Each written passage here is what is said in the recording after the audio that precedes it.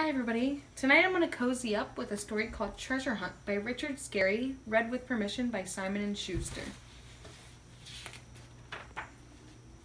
Ahoy, mateys! On yonder isle be the buried treasure, and this be our only map. Miss Honey is reading a pirate story from to Huckle's class. Did those pirates ever come back for the treasure? Lowly asks. I'm afraid we'll have to wait until tomorrow to find out. Miss Honey closes the book. School is over for today.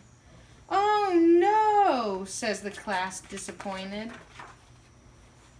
Huckle and Lowly stayed behind after class. Huckle wants to ask Miss Honey a question. Miss Honey, do you think there is any treasure buried here in Busytown? Well, Huckle, in the olden days, pirates could have sailed into Busy Day. Maybe we can find their treasure, says Huckle. I bet they buried it on the beach, Lowly adds. Just remember, boys, Miss Honey says, we don't always recognize treasure when we see it. Later that day, Huckle and Lowly go down to the beach, dressed like pirates. They meet Mr. Fixit on the boardwalk. Yikes, pirates, he shouts. Don't be afraid, Mr. Fi- Fixit. It's only us, Lowly says. We are on our way to find some buried treasure, Huckle explains. Then we will have enough money to buy our own pirate ship. But there is only one small problem, Lowly says. We're not sure where to dig. Well, says Mr. Fixit, in the old stories, X has always marked the spot. Oh, look! There's an X over there, Huckle shouts. Bye, Mr. Fixit. Come on, Lowly, let's get to work. Yo ho ho, and here we go! How deep do you think they buried their treasure? Huckle wonders. At this rate, we'll be in China soon, says Lowly, exhausted. Suddenly, Huckle shovels hits something hard. Clank! Lowly, I've hit metal. It sounds like gold. Clank. Is that what gold sounds like to you? Lowly asks. Oh, it's silver. Look, it's a silver goblet. It looks like a sprang. It looks like it sprang a leak. Lowly says.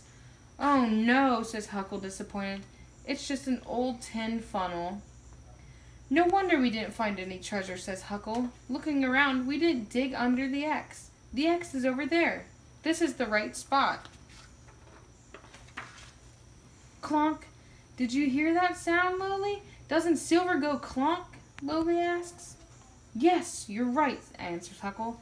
But this is far too big to be a silver coin. Oh no, look, it's just an old wagon wheel. I don't think we'll find any treasure here. Oh, look, Lowly, the shadow keeps moving because the sun keeps moving. I bet this drove the pirates crazy, Lowly replies.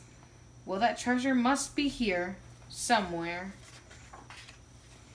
Mr. Fixit thought he would see how Huckle and Lowly were doing. So what have you found, mates? he asks. Well, it wasn't treasure, Huckle says, pointing at a heap beside him. Look at all that junk, Mr. Fixit.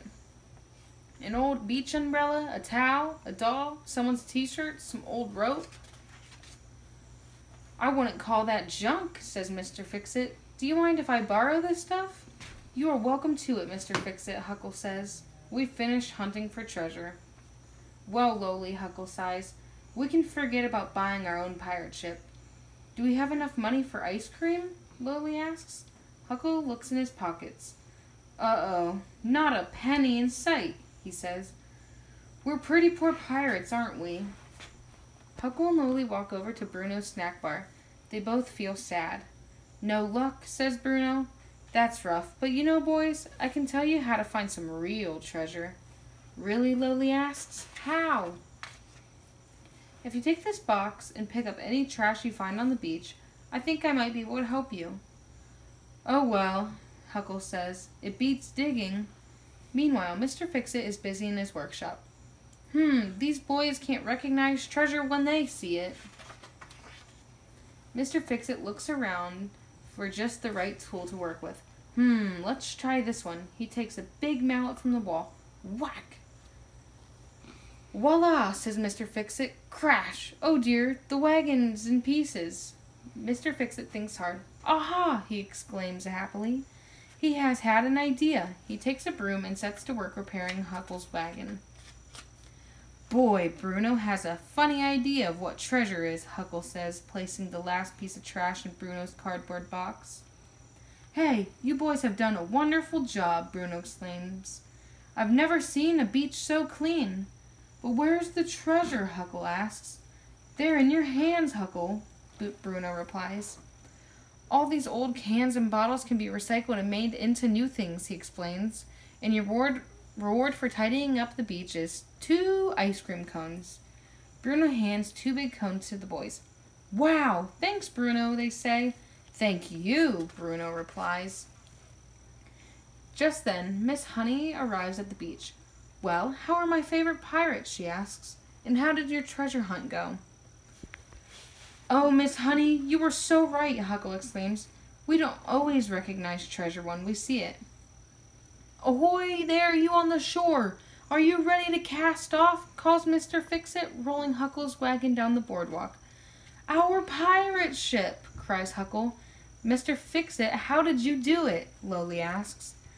As I always say, Lowly, one person's junk is another person's treasure, Mr. Fixit answers wisely.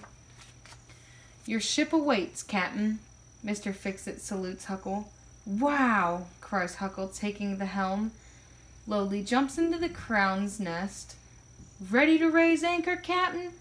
Cast off your bowlines, shouts Huckle. He proudly steers his new pirate ship along the boardwalk. Huckle and Lowly are very lucky pirates, wouldn't you say?